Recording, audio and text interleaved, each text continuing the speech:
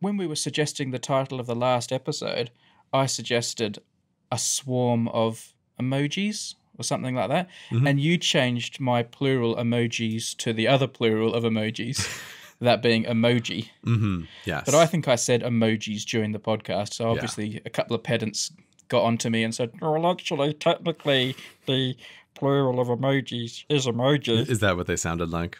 That's what they sounded like in my head. Of course. So obviously, I went investigating about the plural of emoji, and I've read various articles, and I've Okay. come to the conclusion that uh, there is no conclusion. you obviously believe the plural of emoji should be emoji. Well, am I mistaken in thinking that it's a Japanese word? Is is that where it comes from? That is correct. But we're not speaking Japanese, of course. We're using it in the English language. But I think when we were talking, I bet I said emojis, right? I, th- I think in regular context, it's very easy to say emojis. I think that's perfectly fine. But perhaps when you are sitting down, you're putting on your formal wear to write a formal title for a podcast, hmm, you know, and a thing like a title, you want to make sure everything is buttoned up all tight. You have your capitalization all correct. You have all of your punctuation in the right place. Everything is formatted properly. It feels like then you should go with emoji as the plural because that feels like the most formal version of it. And maybe emojis is perfectly fine, but is a little bit of a laid back conversational tone. okay. Do you agree with that? I hear your argument, Mm. but I don't agree. I think the plural of emoji should be and will become emojis, despite the fact that it's not in Japanese. Not all words co opted from other languages also co opt those rules. Some do, some don't. There's a really good article I read in The Atlantic, and they pointed out sushi, which is mm-hmm. pluralized to sushi, but tsunami is pluralized to tsunamis. Huh. My wife says sushis when she's talking about plural, like this is a tray full of sushis. Oh, I've never heard that. I wouldn't say that. So I suppose, funnily enough, I wouldn't do that to sushi. But I would say there have been three tsunamis in the last two years. Hmm. So there's no rule, even with the Japanese words that we co opt. Sometimes we follow the Japanese rule, sometimes we don't. And I think in the case of emoji and emojis, I think the S is required for clarity. Hmm. And I think over time, that's the way it has to go. But hey, you know, I'm just one guy. If you said there were three tsunami in the last year, it would feel ridiculously pretentious. Yeah. But I think saying this is a plate full of sushis is adorable. That's also a clear winner here in this. Pl- this is also the problem with the I plural. Like, like, isn't this isn't the whole I plural part of this thing where English just decided to borrow a bunch of rules from Latin that don't make any sense? Like, isn't that the whole where the whole like cacti thing comes from? I have some vague memory that like the I plural is a ridiculous import into the language in the first place. It does sound good on some words though. I'm still a big fan of ambuli as the plural of ambulances. it's a way better plural than what we're stuck with. Really? Yeah. But you wouldn't use it. Like, you wouldn't say to me, oh my goodness, four ambuli just went past. What's going on? I might. The circumstance it rarely presents itself, but it's going to be a golden moment when I can use ambuli just in a conversational tone someday. The problem is, like, obviously you would say it to be funny right. and it would make people laugh. Right. But normally, when you're talking about incidents that involve multiple ambulances, that is not a time to be funny. That seems like it's the time that you need to be funny the most. what is humor, Brady, if if not the thing that we use to defend ourselves from the horrors of the world? When there's a bunch of ambuli going down the street, that's the best time to use the word ambuli. All right. oh, look, here are all these ambuli. They're cleaning up after the tsunami. How many tsunami? the many tsunami. We have numerous ambuli on standby in case there are several tsunami that cause great danger to all those people over there eating their sushis. So, have you had any follow up from the uh, emoji gate? I'm saying emoji gate like there was some controversy last episode. I can't even remember why we were discussing emoji now. I'm a big fan of the gate suffix. It's applicable under Yeah. many, many circumstances. Oh, it was the bees, wasn't it? That's right. It was bee gate. Yeah, we were, we were talking about the bee emojis and how the page full of bee emoji is ridiculous and they don't look very good. Although, just today, I do have some follow up from our emoji discussion. But I was hmm. looking up several emoji pages for this. And one of the other ones I came across as another animal contender for, I think, a very bad page of emoji is the frog. If you take a look at the frog page on Emojipedia, I think that is a strong contender for also weird emoji that don't represent the frog very well. And there goes a big spike in the frog Emojipedia statistics. Let's have a look. I actually, between uh, the recording of last episode and it actually going live, I was fortunate enough to actually have lunch with Jeremy, who runs Emojipedia. So I was able to give him a, a heads up that he needed to batten down the servers for the bee page before the episode went live. So he was all over that at Emojipedia headquarters. I don't agree with you, Grey. I think generally the standard of the frog emojis is higher than the standard of the bee emojis. But don't you think they're just weird? It's like a bunch of weird salamanders. That's what I'm looking at here. I just, they make me feel uncomfortable. I think they're weird. And the Apple one, I never really thought about it, but the Apple one, I realize all all of my Apple emoji life, I thought that was a snake face emoji. I never realized that that was the frog face emoji. It's a, it's a whole other animal. I don't know, Grey. Now that you say snake, I kind of see it. But if Yeah. you sent me a text saying, "Oh my goodness, Brady, I was just out walking in the forest and I stepped on a," and you, then you sent me that emoji, I would immediately know that you'd stepped on a frog. So I think it does its job. I think that sentence is leading you toward the idea that you stepped on a snake. I think there's there's context around there that would make it very clear that it stepped on a snake. A snake. is not a snake if you don't see its long body. Like no one would represent a snake with just the forward flush face of a snake unless it had a big forked tongue. Mm, Snakes are all about long bodies. Mhm. I was just saying, I look at all of those and my first thought is frog. mm. I'm not saying they're perfect and I'm not saying they couldn't be better, but I think they're acceptable as frogs. Yeah, I'll give them a barely acceptable, but I just think a lot of them are weird. There's one I like. I like the messenger one. It speaks to me somehow. No, no, that messenger frog looks like a creepy frog that's watching you when he shouldn't be. Or you think it looks a bit voyeuristic. Yeah, it does. That messenger frog, it feels like he's watching you in the bathroom. Messenger frog feels like. I don't like it. That smile, those creepy eyes, and his looking to the side like that, like, oh, hey. I don't like that messenger frog emoji one tiny bit. I've just got this picture in my head of you like pulling your trousers up and then looking up at the window, and then that frog's just like got its beady eyes right up against the glass. Yeah, that's what I would expect. Someone puts a sticker like that on the window of a bathroom. And what it's doing with its mouth also makes it look kind of a little bit sleazier. That's an uncomfortable emoji. Mm. But I was wandering down this garden path of emoji because the main feedback from last time is I was describing the kind of things that I like in emoji, what I thought would be good design elements. Hmm. And the universal feedback was that the emoji that I should like best are the old Google emoji. So this is a story I, I was vaguely aware of when it happened, but because I don't use Google stuff, I wasn't really on top of it. But Google changed their emoji this year. And so here is the list of images of the old Google emoji, which is the Android 7.1 version of emoji. Okay. And then I will also send you Android 8.0 version of emoji. So this is the first iteration of their new emoji. All right. So I'm looking at 7.1 first. Right. I don't like their happy their faces because they're not round. They're like these stone lozenge sort of domes. Don't approve of that. I think those are adorable. I really like the little gumdrop faces. Not having it. They've got to be round. Yeah. Hmm. I'm scrolling down looking at their other more general stuff, you know, Hmm. and they're okay. Okay, so that's 7.1. Yeah. And now let's have a look at these other ones. 8.0. Hmm. Ah, see, they've gone to the round faces. That's good. See, so obviously the people have spoken and they've gone to the round faces. I've already forgotten the ones before, but my Yeah. first instinct is that the, the new ones are better. Hmm. I'll give you there's what I think is a an illustrative example of the change in style, which is if you go to the turtle emoji page on Emojipedia and you go down to Google and you click on it, you can see the old versions of what the turtle looked like. I mean, you are cherry picking here, but I'll do it. I am cherry picking, but I think there's a thing that I want to illustrate here that is showing the design difference. Okay. because I think the new Google emojis I really don't like. And I don't mm. like them for a couple of specific reasons, but it might not be obvious when you're looking at all of them in a bunch. All right, so I've gone to the turtle on the Google emoji, and I'm looking at the current one, which I'm not a fan of. Right. And I've called up the old ones, and I've got the, the previous one I get is 5.0. That's correct. Yeah. That's the one you're Right, looking so I'm looking at 4.3, which is black and white and not even worth talking about. It's an old timey turtle, is what that one is. yeah, yeah. 4.4 and 5.0. This tells me what you like. You know, you obviously like uber cuteness in your emojis.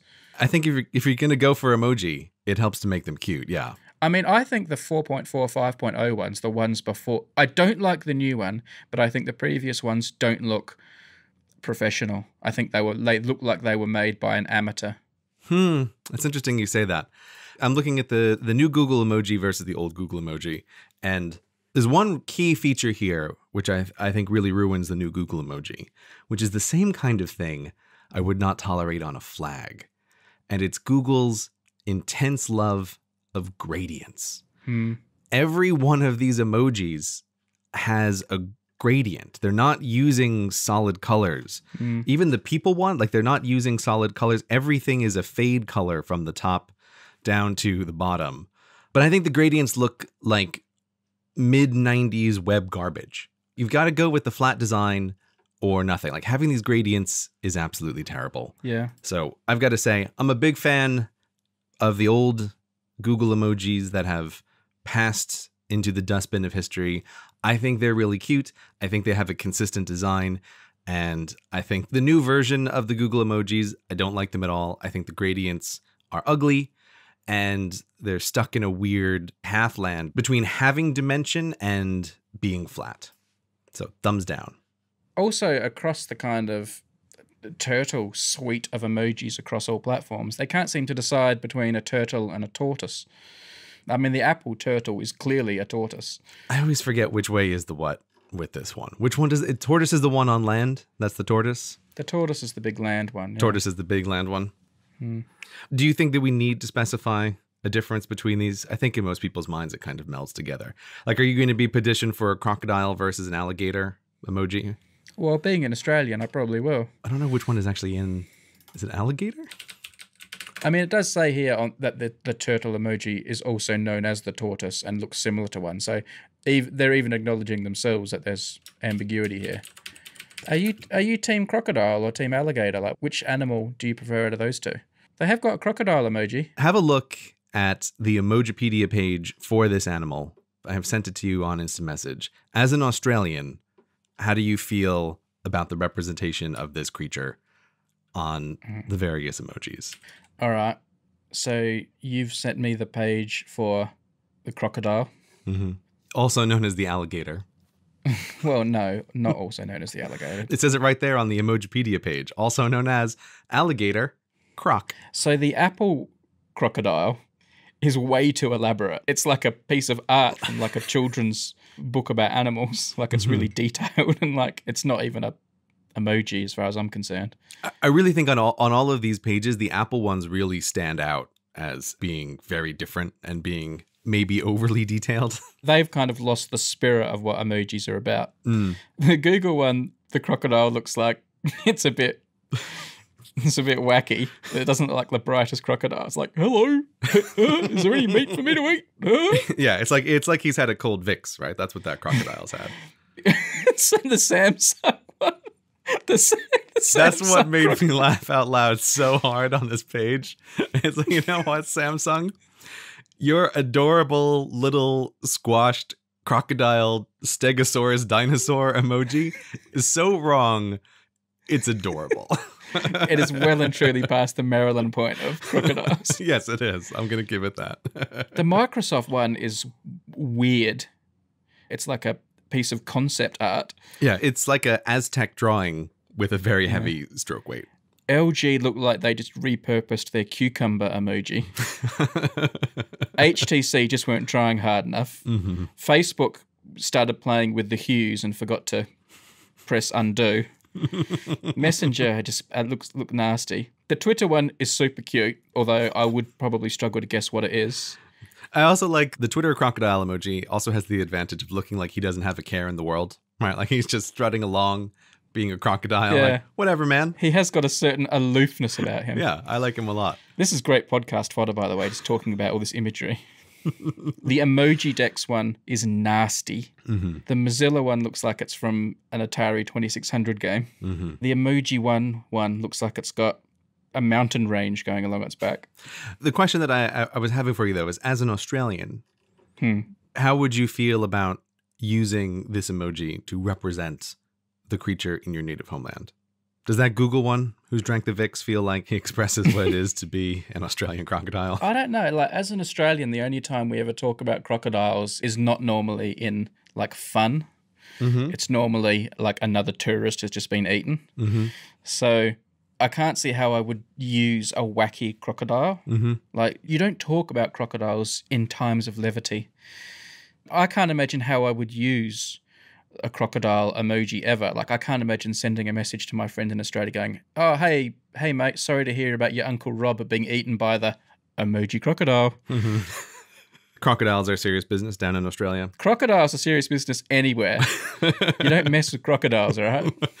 Well, when I Googled crocodile, the very first thing that comes up is a news article from just a few days ago, the title of which I love Death of Queensland's largest crocodile in 30 years could spark violent power grab. You don't want a power grab happening in the waterways of Queensland. Anyway, that's the emoji. I'm going to give the old Android one big thumbs up, new Android one thumbs down. It's ugly and I don't like it. That's my emoji follow up. Samsung crocodile emoji made my day. It's so bad. I it's great. I love it. you you go Samsung crocodile. You go, man. We talk about spoilers a lot, and we try to avoid spoilers Hmm. or warn people of spoilers. Mhm. And I think this is good practice. If you are straying into territory where you are about to spoil a TV show or a movie, you owe it to people to warn them you're about to do it. Of course, it's only civilized. But I do not think it is civilized in a single tweet to Hmm. write spoiler alert colon can't believe Darth Vader was really a woman. Like in the same sentence. Mhm. That is not sufficient spoiler alert. Like just writing spoiler alert and then immediately spoiling in the same sentence is very poor form. And you may as well have not even written spoiler alert. Because I don't think many people are capable of seeing those first two words, not even knowing what you're about to spoil. Mhm. I don't think you can tweet about things without spoiling.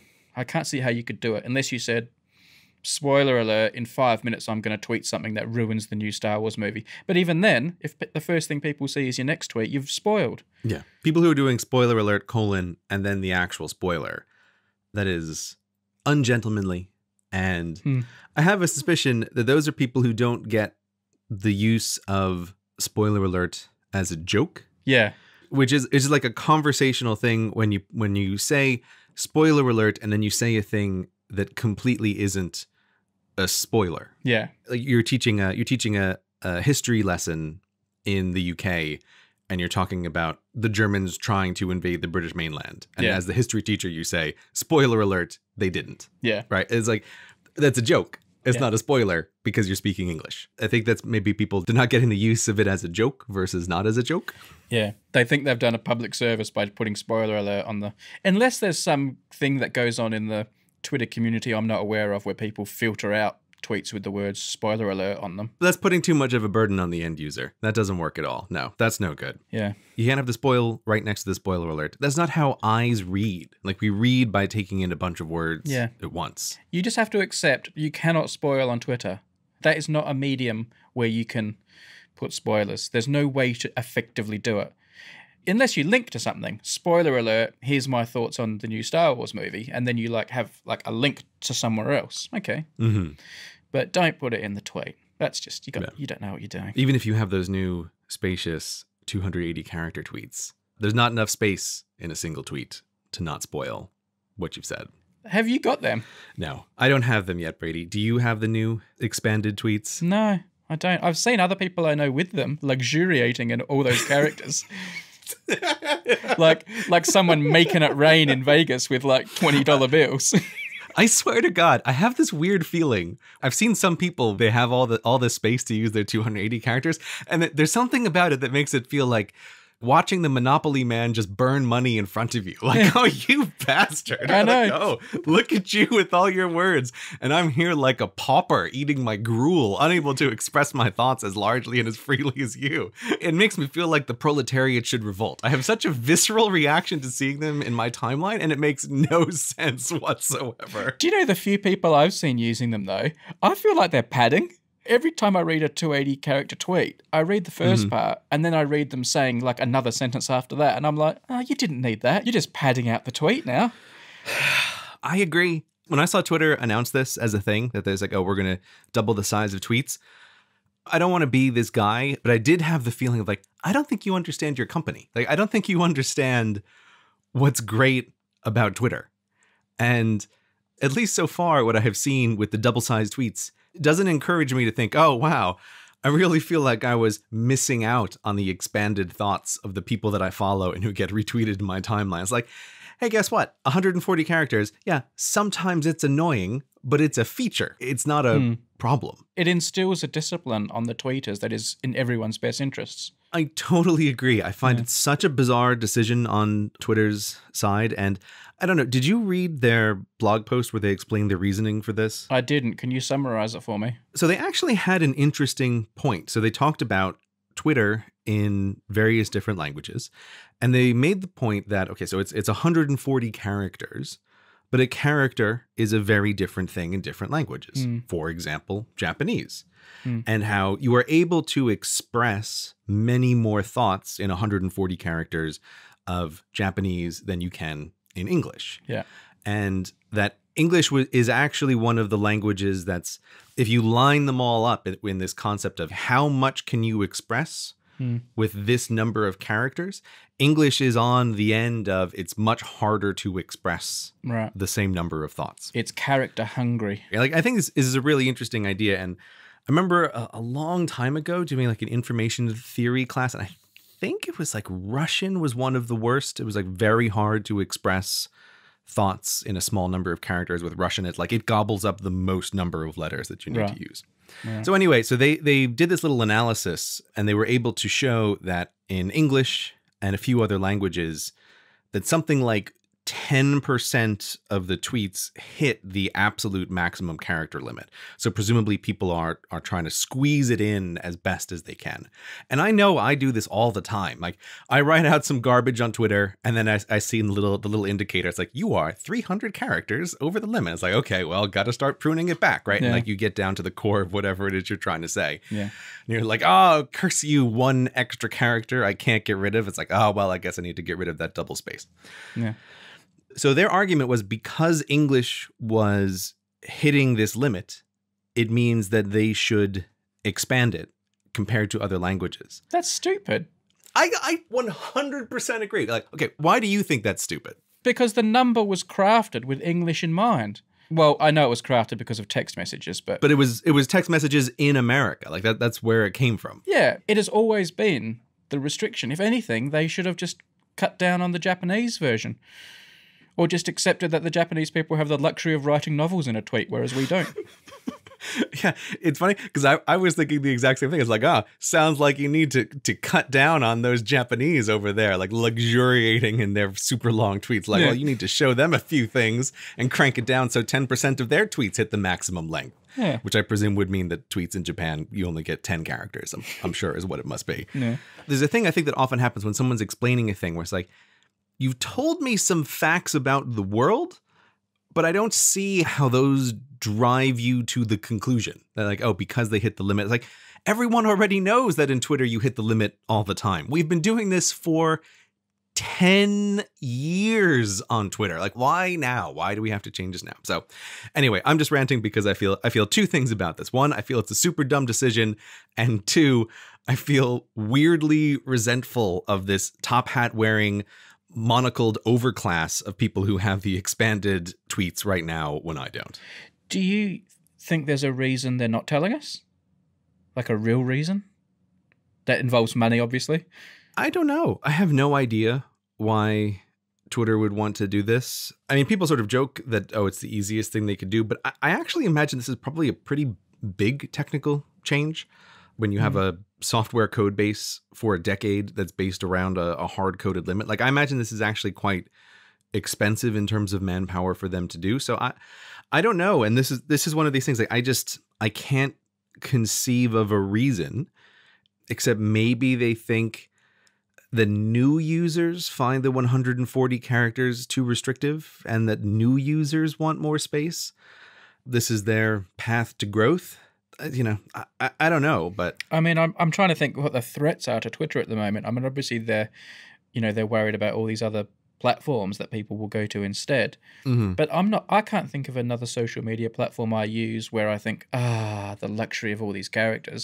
I mean, I can write longer posts on Facebook, but other than that, I mean, other things like Instagram and Snapchat and things like that. I Mhm. mean, I hardly use text, Mhm. and if I do, it's never more than four or five words. So I wouldn't have thought people's ability to luxuriate in text elsewhere is the biggest threat to Twitter.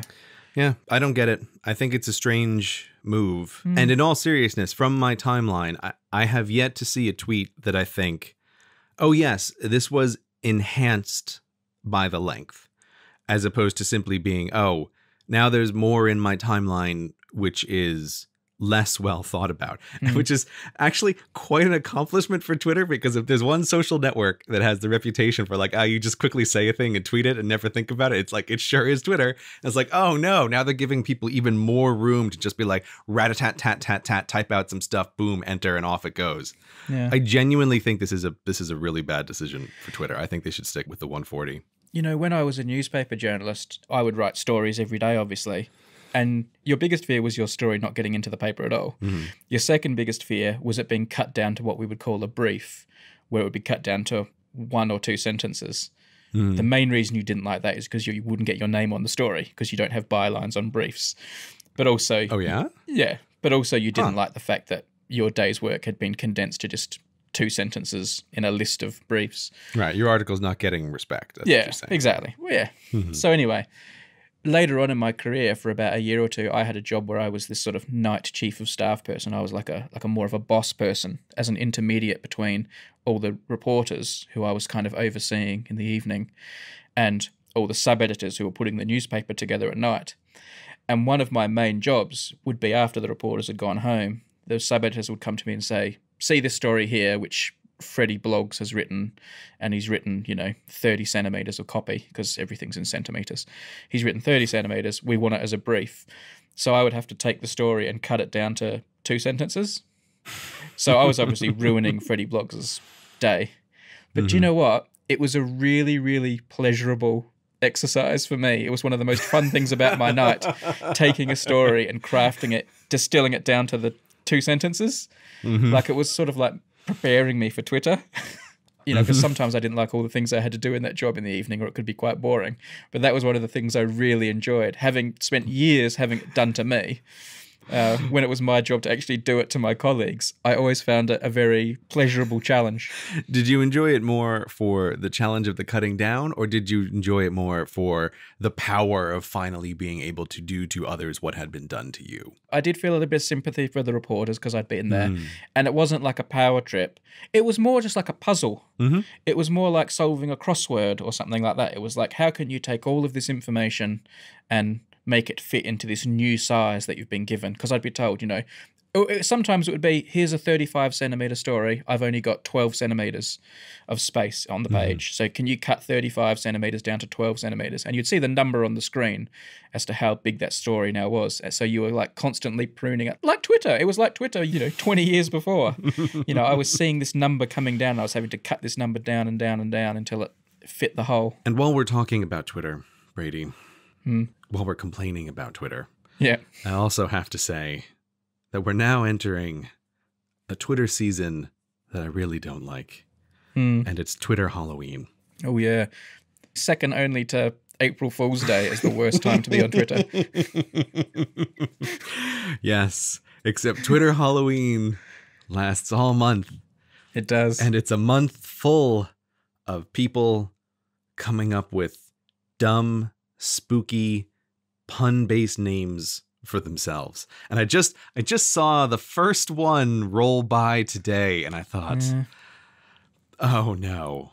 I forget about it until it shows up, but I just I feel like I like I'm going around here and I'm I'm stomping on everyone's fun, but I just I don't know why it bothers me so much.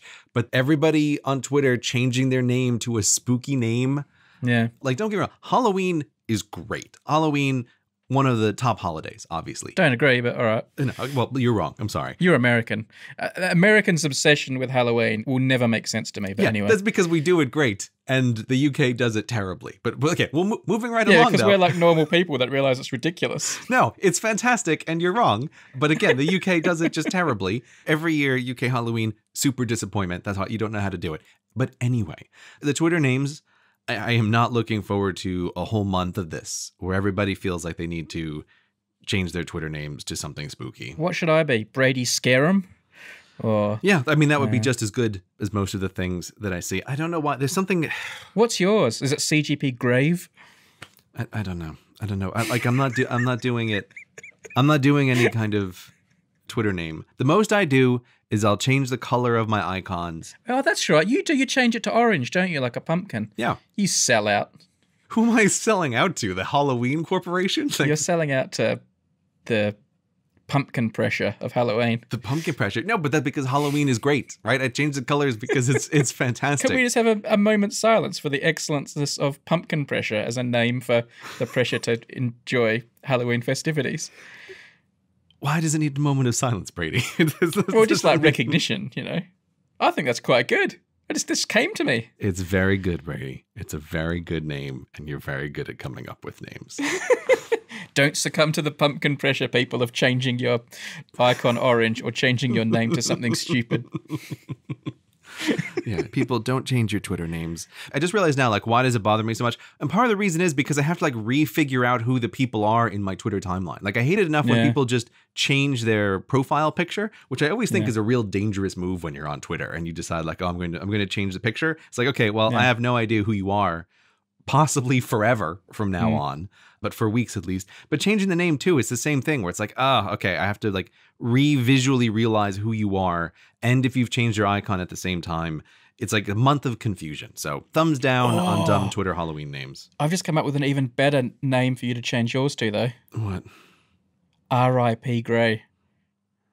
It is pretty good. That is pretty good. That is Brady. good, I'll, it? I'll give you that. That's that might be the best one I've ever heard. That's pretty good. R.I.P. Grey. Yeah. I'll change it right after the show. With a little grave emoji. Everyone's going to think you've died. And that's how, like, whoever you gave access to your Twitter account after your passing decided to announce it to the world. R.I.P. Grey and Pumpkin Pressure in the space of minutes. I'm on fire, Grey. We all bow down before you, Brady. My creative juices are flowing. They're, they're flowing. You need to take advantage of this. Is there anything else you need named while I'm here? No, no, I'm good. I'm good All on right. names. Thank you. Let's move on then. This episode of Hello Internet is brought to you in part by Harry's. Harry's is all about a great shave at a fair price, which is why over 3 million guys have switched to Harry's. The company was started by Jeff and Andy, two guys fed up with buying overpriced razors.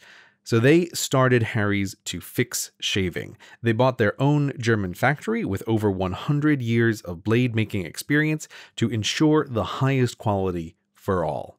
And because of that, all their products are backed by a 100% quality guarantee. Harry's offers their blades at half the price of the leading five blade razor, selling directly to you over the internet, so you never have to leave your house. That's so nice. If you've been indoors for a while, you're beginning to look like some kind of shaggy hermit, the last thing you want to do is have to go outside to shave. And with Harry's, you won't have to. Now, Harry's is so confident that you're going to love their blades, which not just work great, but also look great. They'll give you their trial shave set for free when you sign up at harrys.com slash hi. All you need to do is pay for shipping. That's a free trial set from Harry's, a $13 value when you sign up. And your free trial set includes a weighted ergonomic razor handle, five precision engineered blades with a lubricating strip and trimmer blade, rich lathering shave gel, and a travel blade cover. If you have a bit of shave that needs to be taken care of, how could you say no to this? Once again, go to harrys.com slash hi right now and sign up. That's harrys.com slash hi. Thanks to Harry's for supporting the show. Well, let's talk about something that has been named interestingly as we move on to a few topics that come up from time to time here on Hello Internet, Mm-hmm. and that is Elon Musk and SpaceX. Well, I certainly heard that there was some action in Adelaide after the last podcast. Exactly. I think Elon Musk's endless quest to win me over, he's taken the dramatic step of making his next big announcements in Adelaide, just a stone's throw from the mighty Black Stump. This is where he has announced to the world his latest incarnation of his publicity seeking announcements of things that he may do in years of the future, Mm-hmm. where he has announced his plan for Mars. I'm going to go to Mars one day, basically, is, is the summary. Do you find he makes a lot of announcements before they're a thing? Well, I don't really follow Elon Musk announcements. I don't really follow SpaceX. So when you when you say there's an announcement about SpaceX going to Mars, like if if there's one thing I learned from the feedback the first time we brought up SpaceX, it's that this is clearly the whole purpose of the company. So uh, presumably this is information that has already been known for a while. So Oh yeah, it's it's revised ambitions for how he's going to do it and stuff, and you know, and he's had some sexy new animations made. So you know, ooh, everybody loves some sexy animations though. I mean, you can't. I'm not anti Elon Musk, right? Mhm. But I do think he spends a lot of time announcing things. And and maybe this is the way you have to be in business, but he's a bit of a publicity seeker. One of the reasons he is also connected with Adelaide, he is quite like he does see opportunities to maximize that publicity. For example, the other reason he was in Adelaide, I mean, he was there because there was this International Astronautical Congress was held in Adelaide. Mhm. So that's why he was there doing the Mars. But he was also there in Adelaide because a little while back, Adelaide had some problems with its power supply, Mhm. and there were some blackouts and there was some infrastructure problems. I won't bore you with the details. But he then, you know, he saw the opportunity and said, "I'll build you a giant battery in a hundred days, and if I don't build it in a hundred days, it's free." So he like he saw this as his in Mhm. to swoop in while they were struggling and say, "This is finally my chance to get someone to adopt my battery technology." So he's quite good at like you know, and good on him, you know, good on him. He didn't do anything wrong, but like he's quite good at getting attention. And I feel like all these announcements about Mars and stuff are, are what he does to get attention. And all these people that say this is the aim of the company, yeah, fair enough, but don't get too drawn in by the hype. Like you know. Sometimes your big announcement is what you do to keep your other businesses chugging along. Do you think that's what's going on? That it's direction to keeping the other businesses going? I think it keeps the other businesses in the spotlight and does the other sides of the business some good Mm-hmm. to have these like marquee plans. Hmm. I'm sure he would love to send people to Mars, and he is a space fan. He wasn't like an, you know, an Apollo fan and stuff. But I do think people get a bit carried away with this stuff. I mean, politicians do the same thing. Just this week, the vice president of the US was talking about boots on the moon and stuff like that. It's like it's like a classic diversion. The thing with governmental announcements that's uh, much easier to draw a line at is it's like, oh, okay. Boots on the moon, you say. Can you show me the line in the next budget that is directly related to those boots on the moon? Uh, because Hmm. if you cannot show me that line in the budget, then this is clearly just all talk, right? Whereas with private corporations, like exactly where they're distributing their, like it's much more opaque. You can't necessarily see. Hmm. But yes, like I remember several presidential administrations ago, lots of talk about like returning to the moon and going to Mars. And it's like, Ah, where's your increased budget for this? Like nowhere? Oh, okay. All right. Well, Mm. I won't be holding my breath on this anytime soon then. Yeah. The one thing I will say though is like I don't mind there being someone in the world who is taking on the role of crazy billionaire with interesting ideas. Yeah. Right? Like putting aside the practicality of things because many of these things I don't have any real sense of it. A good example of this is the Hyperloop, which was the first one of these like wacky ideas that came to my attention a while back. Hmm. It was like the super fast ground transit thing. Hmm. And I think I had filed under my brain as like crazy idea that will never go anywhere. But it seems like that's actually a thing that's really like there's Hyperloop construction beginning and there's tests and like it seems like that might actually go somewhere. I, I don't know.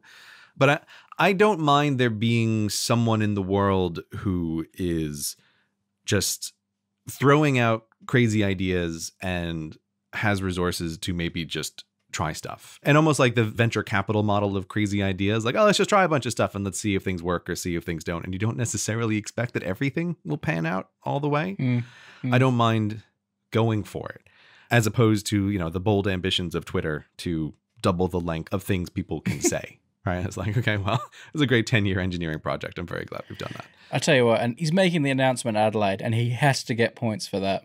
It's pretty exciting, like because now, if he does get to Mars, I'm gonna say it started in Adelaide, Oh, that's what you're going to say.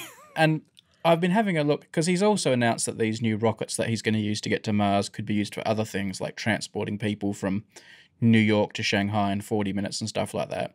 And he's released a little video animation of what that's going to look like.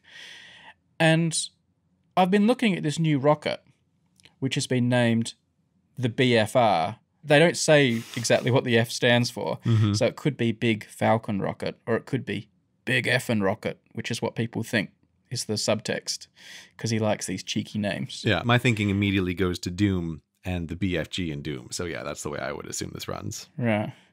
I have to say, because like Tesla and you know Musk and all these people and SpaceX, they're good at making stuff look good, you know, which is cool. But I think this new rocket's kind of ugly. So, this is the video that you sent me earlier. This is the Earth to Earth animation. That's what you're talking about? Yeah, that, that's the video I sent you. There's a YouTube video of what it would look like going from New York to Shanghai in the rocket.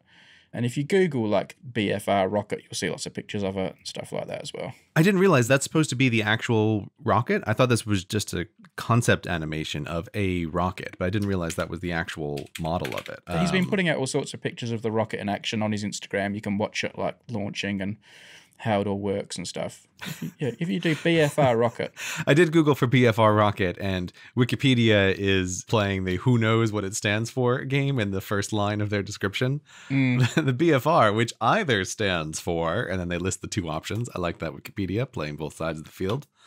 I mean, it looks like a big chunky rocket. it reminds me of the A380, you know, the Airbus, the new big double decker Airbus. Like you've got your 747, which just the proportions of a 747 are just beautiful. It's just a beautiful looking plane. Hmm. And when you compare it to the A380, the A380 looks like just a big, chunky fatso. Yeah, yeah. And I feel like this BFR is like the A380 of of rockets. I'm sure it's probably more mm. effective and better and can hold more people and does the job better, but it just doesn't look as beautiful. The proportions aren't right. It doesn't meet whatever the golden rocket ratio is. I'm laughing here, Brady, because I really appreciate these little moments with you because this is one of these things where I look at it and you know what I see? I see a picture of a rocket. And because I'm not very familiar with rockets, I feel like this looks like all the rockets I've ever seen. Really, it looks sort of the same. I absolutely adore that in your analogy to explain the rockets, you immediately jump to another field where I feel like the planes all look the same to me, where you're like, oh, yes, the Boeing 747 versus the Airbus. And I'm like, hmm, yes, some planes are bigger than others. Like I am just not familiar enough with models of airplanes or rockets to be able to visually distinguish them from each other. So If you Google 747 versus A380 and go just to the image results, you'll see lots of comparisons between a 747 and A380. 747 versus A380. Oh, okay. So the, the A380 is the one with the big forehead? Like it has a big forehead above the cockpit? Yeah. You can't tell me you look at those and think one's more beautiful than the other. Like, Uh, I would say the one is more beautiful than the other. The 747 is more beautiful than the other, but isn't the A380? It seems like it's way bigger. Like it looks like it's hauling twice as many people, right? it holds more people. Yeah, and it's like way better technology, and like it's a it's a great plane, the A380, and it's great to fly on. It just doesn't look that good, and that's what I'm saying about this new BFR rocket. I'm sure you know there are reasons for it, and it'll it'll do the job better, and it holds more people, and but I just don't think it looks cool. Everybody's going to be saying, "Oh, it's the A380 of rockets." That's what they're going to be saying. I think so. I think they will. You planning on taking one of these 30-minute flights from uh, London to New York anytime soon?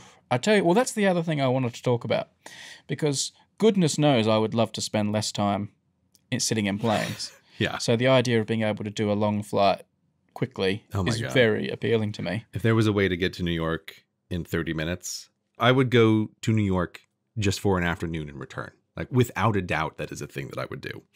But here is the problem, and this is something we foreshadowed in the last episode. When you watch that animation of what the flight would be like, they Mhm. kind of recreate it. When the rocket is landing in Shanghai on like a platform in the water with the Mhm. Shanghai skyline behind, and it comes down and does that reverse Mm. rocket land, Mhm.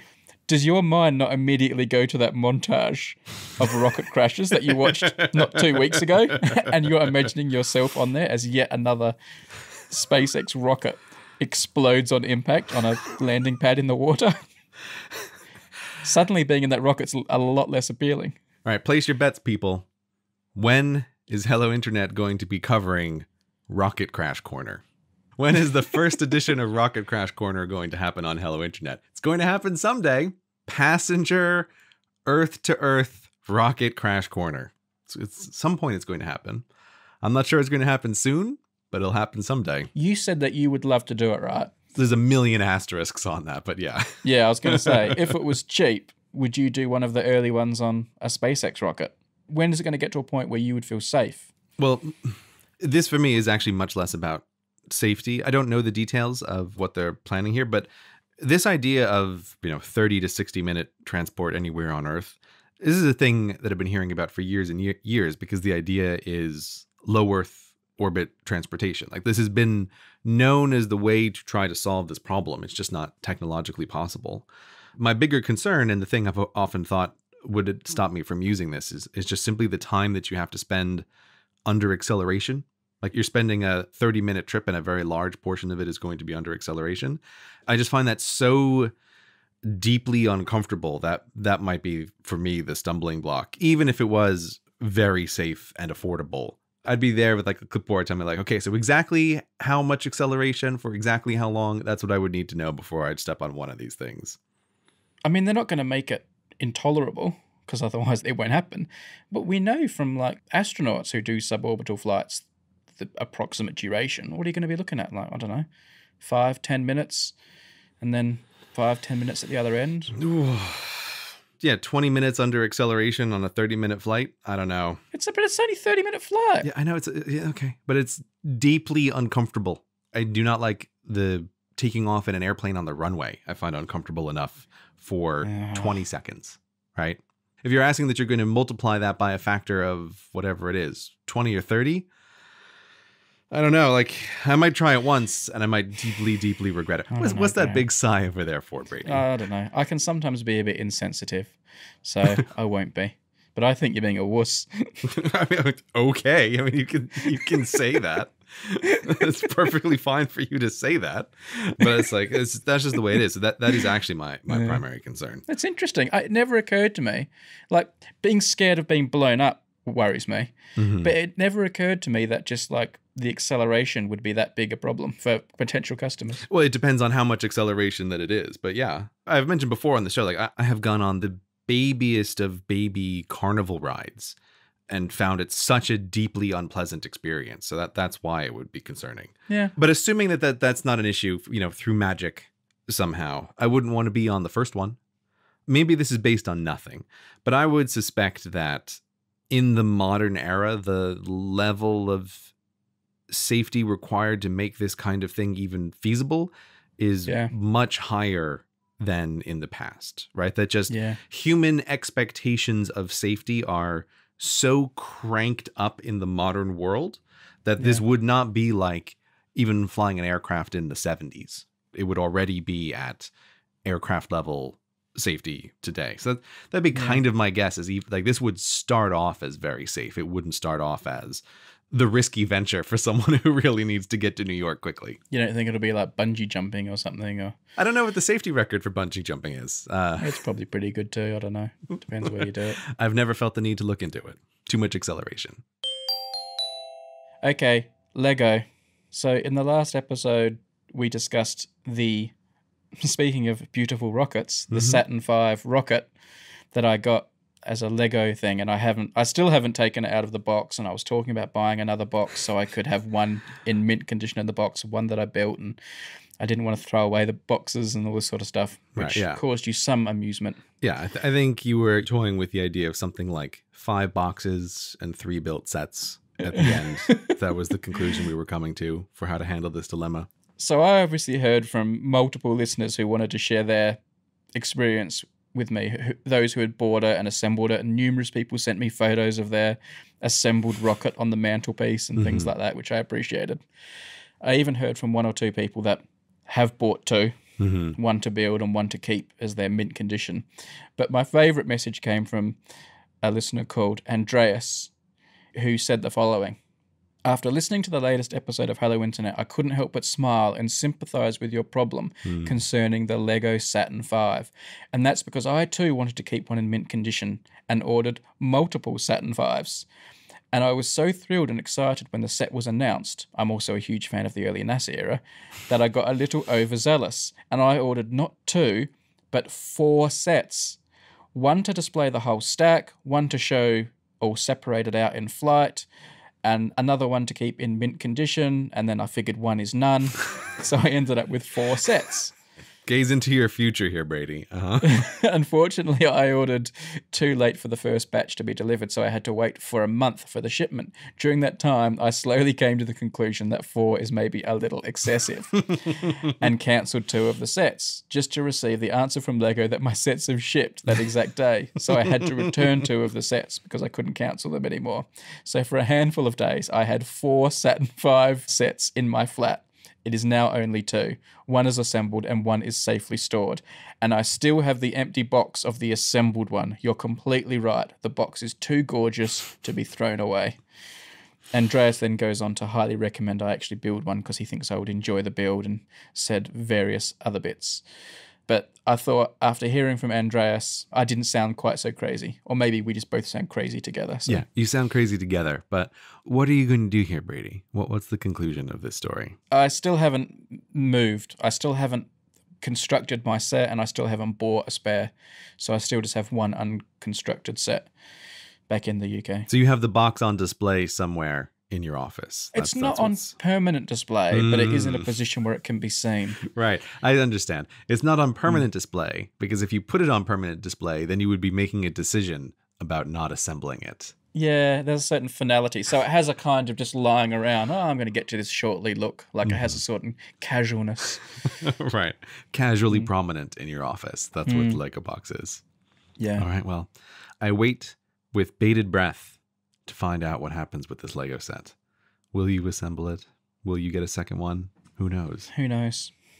This has had me thinking a lot about Lego, though. And it's actually, I grew up calling it Lego. What did you call it when you were growing up? But now everyone in the UK calls it Lego, which is probably correct. So now I have to call it Lego. So I have transitioned from Lego to Lego. Are you saying it like I'm having a hard time hearing this? Like L A Y, like lay Lego? yeah, yeah. Australians tend to say it like that, Lego. No, it's got to rhyme with Eggo because you got to say Lego my Eggo. I don't even know what that means, Lego, my Eggo. This is an American TV commercial, so yeah, it's it's got to rhyme with Eggo, so it's Lego. What's an Eggo?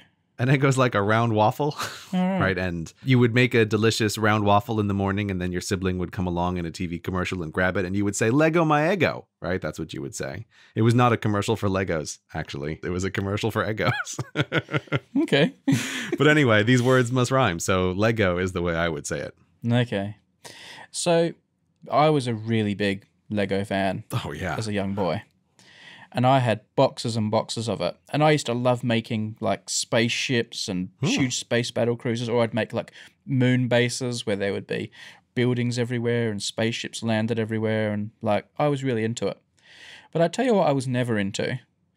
And that was following the instructions, like getting like a Lego with instructions to make a thing and like follow the instructions step by step. And then there was the thing. That Hmm. seemed like the most boring thing in the world to do.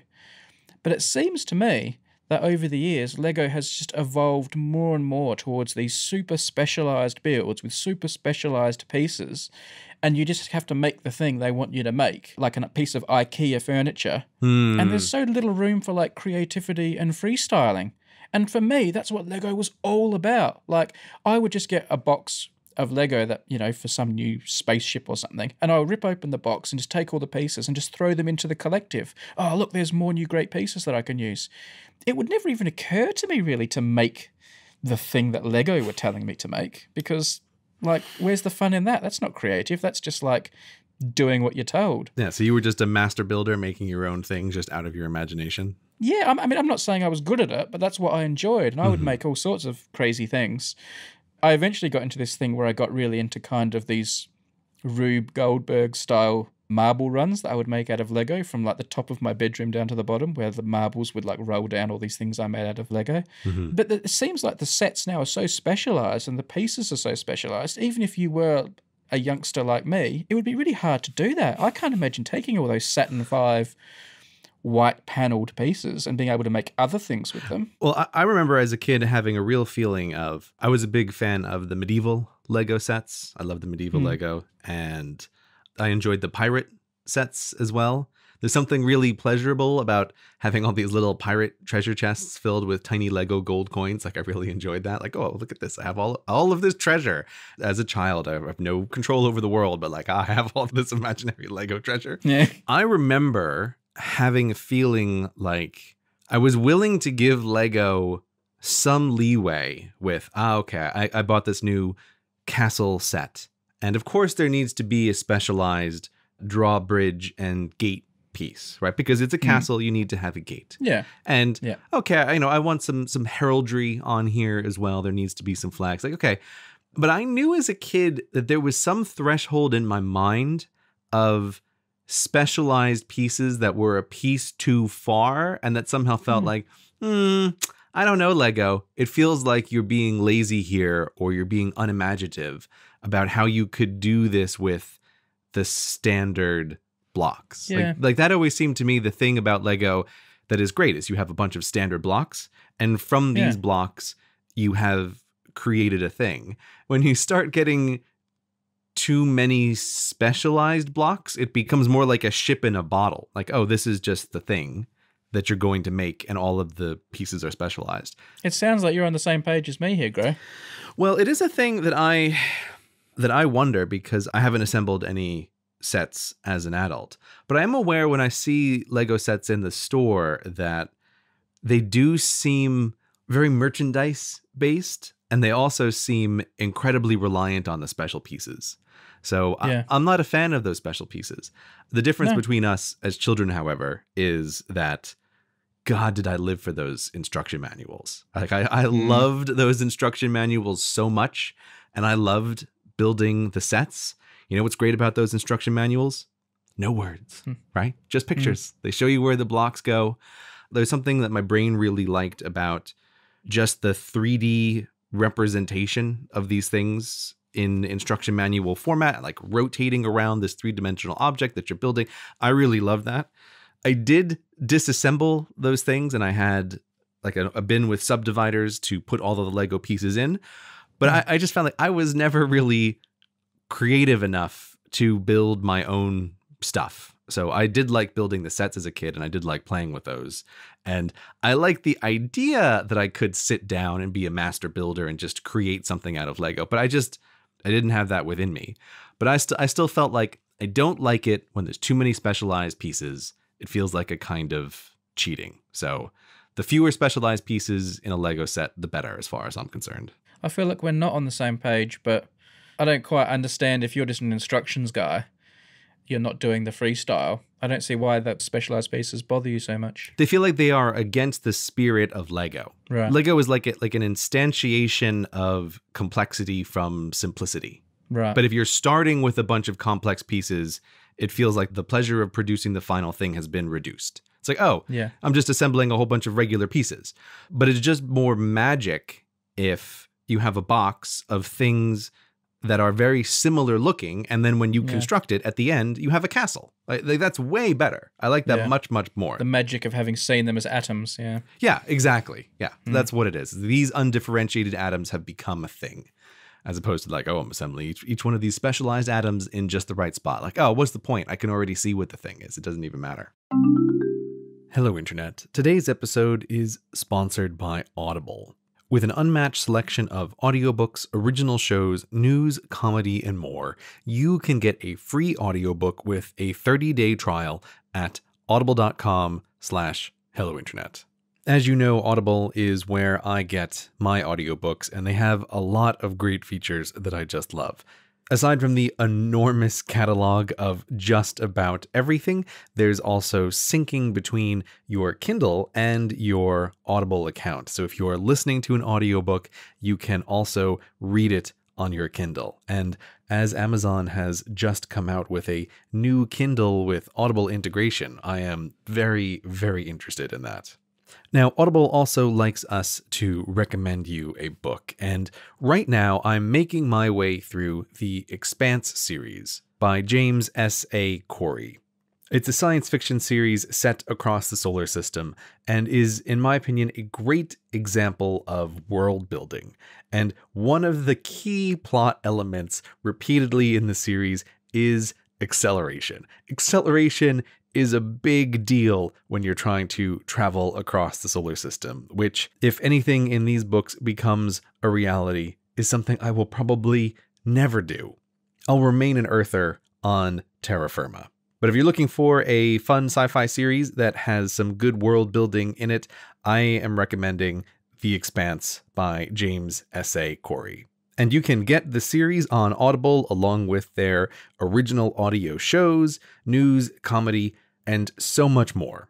Just go to audible.com slash hello internet, browse their ginormous selection of audio, download a free title, and start listening on any of your devices. It's that easy. Once again, thanks to Audible for all the audiobooks I listen from them, and thanks to Audible for supporting the show.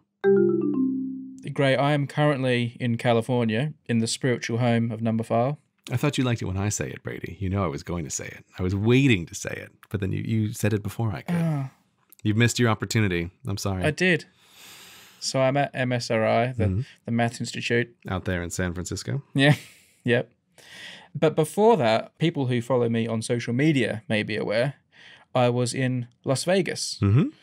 And at the time of recording, we're a few days after this terrible tragedy that happened in Las Vegas, where the guy up in the casino, the Mandalay Bay casino, shot a whole bunch of people. I think at the moment, like 58 people died Mm. in this like worst shooting in modern times of America. It was this terrible thing. And I was in Las Vegas when that happened, which was quite interesting because I was very close to it. I was one block away from it when it happened, but I wasn't aware that it was happening. Mm-hmm. So I suddenly started getting all these text messages from my friends. going, Right. Oh, you're in Las Vegas, are you're all right? But also, like, all the people who listened to Hello Internet on Twitter started messaging me, asking me if I was all right, which was quite a weird situation to be in. It is a weird situation to be in because I got the same thing where it's like I'm sitting around on Twitter and then I get messages asking me if you're okay, and I was like, why? why why wouldn't he be? I'm sure he's fine. What's going on? Like, it is a strange modern phenomenon to find out about these things in this indirect way. Yeah. It's just like living in a city like London, you know, there's always things that happen and it's it is sort of weird to just be sitting at home minding my own business and to get a text message from a friend or a family member going, "Are you okay?" And I'm like, "Why?" Uh, yeah, I'm just sitting here. What's going on? It's like, "Oh, didn't you know?" It's like, "Nope, didn't know." Yeah. Cities are big places. the weird thing was as well, like when these big like tragedies happen, I always feel like a bit of a recoil from people who like try to make that about themselves somehow, you know, when it's got nothing to do with them. And I did feel like it had nothing to do with me, mm-hmm. except that I was close to it. So I was a bit reluctant to like go on Twitter and say, It's okay everyone, I'm all right, you know. Yeah. I felt I would look stupid doing that. But it eventually got to a point where I was getting so many of these messages that I was I think even my wife said, Oh, maybe you should just at least tweet something so that this stops. So I did end up tweeting saying, "Yeah, I'm in I'm in Las Vegas, but I'm alright." So You're in a 100% no-win situation there. I can completely understand you are feeling like, oh, I, I feel silly, or like I'm turning a like a tragedy about me by publicly saying to a large group of people, like, don't worry, everybody. I know many people have died, but I am okay. yeah, It's a no-win situation because also if you say nothing, you also know that there's a, a non-trivial number of people who are going to be increasingly concerned as time goes on that you are okay. Maybe the best solution in these moments is just to tweet something unrelated and I'd be like, "Oh, I'm really enjoying my hot dog here at the Luxor Hotel," right? Yeah. With a picture of a hot dog. Maybe that's the way to try to handle That it. That would seem really insensitive, though. Like, Oh, you know, yeah, okay. when you're right next to something terrible that's happened. Because just to give you some perspective as to what was happening, I was in the MGM Grand, which is right nearby. yeah, it's like almost across the street, isn't it? Yeah. So when it happened, I eventually you couldn't actually see it from my hotel room, but there was a window right next to my hotel room that you could see like the whole scene from. Mm-hmm. So I went and stood next to the window to have a look because there were like so many police cars and it was such an amazing, amazing sight. So I was just looking out of general curiosity, and I was standing next to these two people who were also watching. And eventually, I spoke to them after a minute or two, and it turns out they had just been down there and like had been standing next to people who had died. And I was like, "Oh my goodness, really? You would?" Yeah, and they, they were like just in shock. And then I went down to like the lobby of the hotel to meet my friends, just because you know we couldn't sleep because you know it was such a thing, such a big thing. And like the hotel lobby of the MGM was full of people, you know, with blankets who'd been there with their cowboy hats on and their boots still, and they were all crying and hugging each other. And so, although it had nothing to do with me, and like you know, I don't consider myself part of it anyway. It was very much around me. It was a very big thing. So Mhm. to have tweeted anything would have seemed like equally inappropriate. Mhm. So anyway, that's what happened. It's this terrible thing, and I don't think you and I have much to say about the incident. I mean, it's a terrible incident, or even all the political stuff. But there are things that have happened at the time and since that do kind of relate to you and I and our world that I was curious to talk about. See what you thought. And this mainly is to do with advertising oh, and videos, which is something we talk about a lot. right, right. We're not gonna be tweeting pictures of hot dogs here, but how does this relate to YouTube? Which I think is Yeah. is a totally fair question. Yeah, and not just YouTube, by the way, but just video in general. Yeah. So I think we're talking about it with like the distance of it having happened a little while ago now, and with all the caveats that we realize there's a much bigger picture to this, but you and I probably aren't the experts or the people to talk about those bigger pictures. But I was curious about how it touched on sort of the world that we work in. Because when this first happened, there was a real hunger for information and news about it. So I was like going online and watching reports and videos and things as they came to light on things mm-hmm. like the BBC website. And the first thing that struck me was that all these videos I was watching for for just you know for information, all of them had these like unskippable ads. So I'd be watching an unskippable ad for some commercial product, Right. and then I'd be watching some video of a crazy gunman shooting people from a casino, which had just been taken from video from someone's, you know, Twitter or social media. So they'd just taken the video and re-uploaded it. And the ad seemed inappropriate. hmm It seemed inappropriate to be running an ad before that video. Am I being silly or naive or before we talk about YouTube and stuff like that, because I want to get to that in a minute, just like I'm just talking about news organizations like your CNNs and your BBCs and all these people running pre roll unskippable ads before a video that is essentially just a re upload of some poor person's video they took at the scene of this horrific incident. Yeah, well, I mean, there's there's a bunch of different levels here, Hmm. but take the top level one, right, which is Hmm. you're watching the video on a website and there's a pre-roll ad against it. Yeah. I feel like, like this comes up every time there's any kind of tragedy. This tension between the like the advertisers and the video material that they're being shown against. Hmm. And I understand why that happens, but there's also a part of me which feels like I don't understand why, particularly with news. So, like, you're watching this on like a real news website, Yeah. and you're seeing an advertisement. I sort of don't understand the pushback there because, okay, you're on a website and you're watching a pre roll, okay, but if you were sitting down at home and you're putting the news on TV, it's like, well, Hmm. there's commercial breaks during the news. There's commercials that happen there. I understand that it's slightly more different in time, as in the anchor doesn't come onto the desk and say, horrible breaking footage from the latest tragedy around the world, but first mm. a message from, right? And then they, Yeah. like, they would seem more crass. I feel like there's not enough of a difference here that I understand where the upset comes from, particularly when you're talking about news.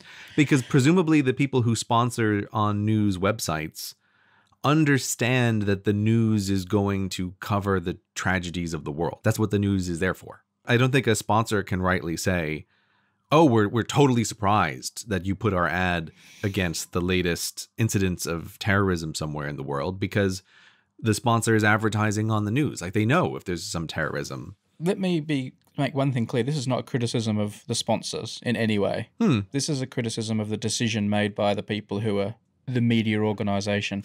And I also want to say I realize there's a, there are lines here. Like you said, there are ads during the news. And where that line is is very difficult for me to get my head around. It's almost just like I know it when I see it Mm-hmm. because there are various gradations to this. But I just feel like when I click the thing to say, you know, here's some footage of the incident taken by Fred Bloggs, who happened to be there, and I click it.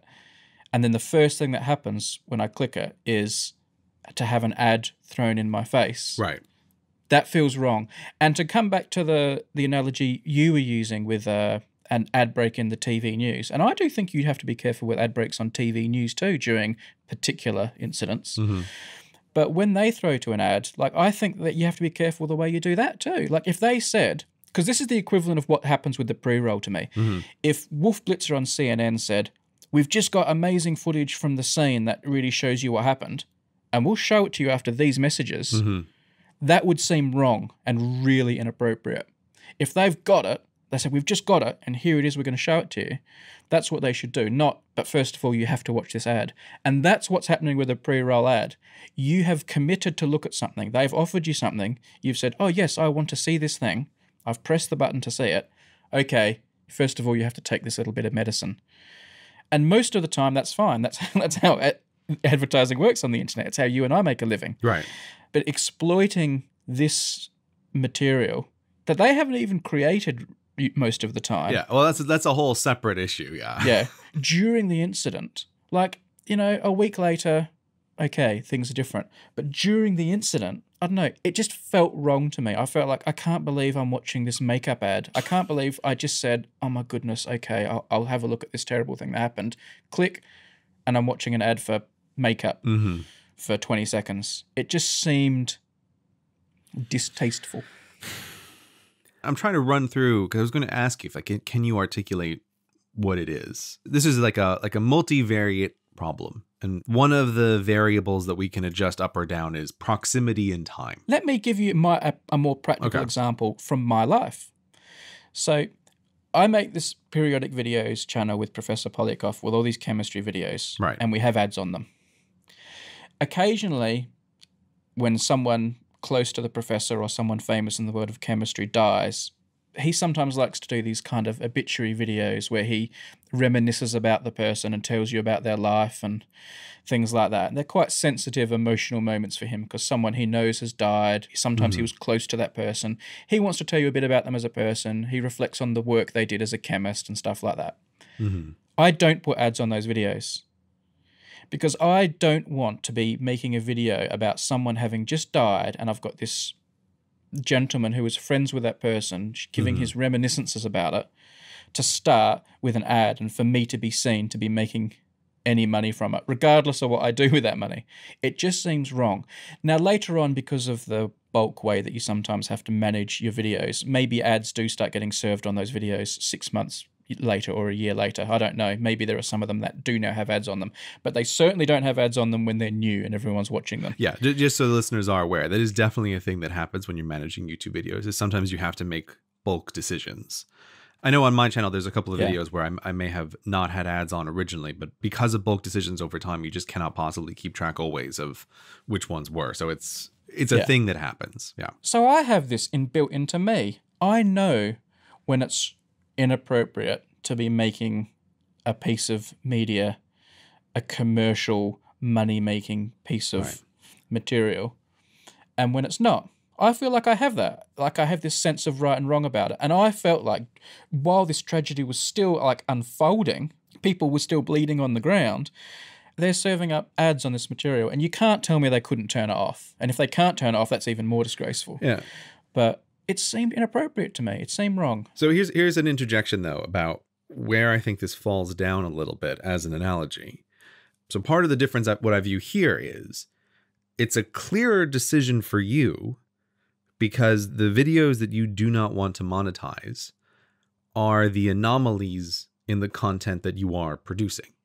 Numberphile, right, or periodic videos or any of your channels, their normal content is not sensitive content, right? Whereas a thing that is different with the news is they're in a position where it's a much harder judgment call because so much more of the material that they deal with is intrinsically sensitive. It is the nature of what the news covers that it's going to be a vastly higher percentage.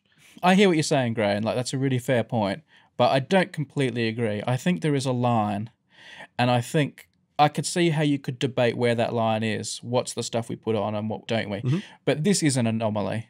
And this is the other side of that line. Like a guy up in a casino shooting down on people and like massacring nearly 60 people, like is definitely the other side of that line where I think you would say no ads. And the, there's plenty of material being put out by these organizations every minute that is the side of the line where I do accept ads. Mm-hmm. I do see what you mean. They have more of this material, and this decision would have to be made more often. But I think this was so far the other side of that line. And surely all news organizations are prepared for major incidents like this. Surely someone can have a big red button you press that says, all right, no ads for the next two hours while we gauge the appropriateness of this and whether or not we should be seen to be exploiting this material. I, I think there's a way around it. A question then on that, right? So let's let's say that mm. that button exists. In your Yeah. metric of mental appropriateness here, do you think that the television news should follow that as well? Right? To say for an incident like this, blackout on ads for the next several hours. The TV rolling news networks are like, I'm sorry, we're not going to sell soap anymore in between telling you about the state of the world. We're going to turn all of that off. Or is there something that is different about the online medium to you? Do you know what? The reason I hesitate to answer that is because I don't actually know what their policies are. I half suspect they do have policies where they pull back on stuff like that. I don't know that they don't do that already. Normal TV stations that aren't news channels have policies of cutting into their programming when major incidents happen and don't run ads. Mm-hmm. Like instead of showing today's game show full of ads, we interrupt this programming to tell you that this terrible tragedy has happened and we're going to just cover this for the next few hours. And they'll have no ads. Mm-hmm. So I am aware that TV networks are willing to sacrifice advertising. I don't know what you know your CNNs of the world. I don't know what their policy is when something massive happens, whether they go into a no ad mode. So I'm I'm reluctant to answer your question because I don't know what the situation is anyway. I don't know that they don't do that. Yeah, but what I'm asking is but whether they do or whether they don't, do you think that they should? Yes, I do think that they should. Okay, right. I think I think when something like this is happening, you say, "All right, no coke ads for the next four hours." right. I understand maybe for technical reasons they need breaks in programming, but I think they can go to bumpers and fillers and things that are not commercial Yeah. transactions. They- there's- You, you can put up something, a screensaver. I mean, they have these things, so Yeah. yeah. That's that's what I think. It just felt a bit wrong to me, but it is very difficult. And you raise all the questions you raised are completely legitimate, and like, and I don't know where the boundaries are, and Yeah. how bad an incident does it have to be, Yeah. and how long do you not do ads for? I don't know the answers to those questions, but I just know I felt during this incident, I felt like there was some wrongness. They're all on the spectrum of things, and, and also Hmm. it's funny to find myself on this side of the argument. But the the one other thing that I think is important to point out that is very easy to forget after the fact, and I'm not saying that this was the case for this particular incident, but with many incidents, it's often not clear the scale of it for a while.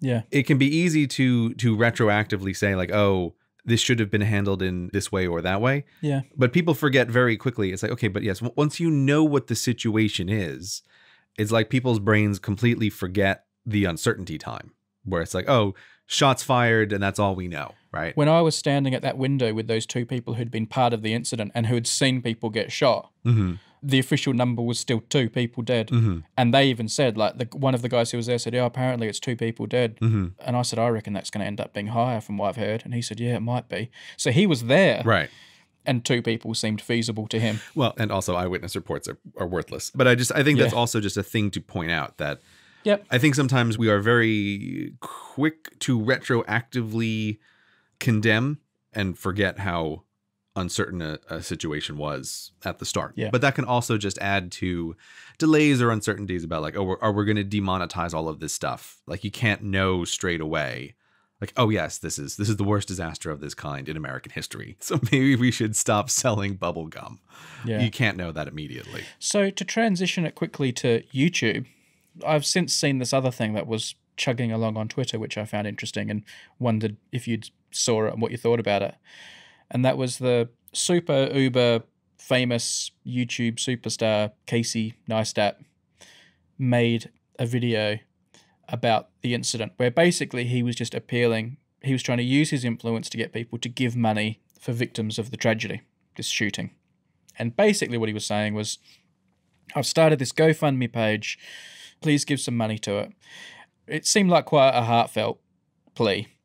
And he also said, I'm running AdSense ads on this video, and the money I make from this video is going to go towards the money that we're raising for the victims.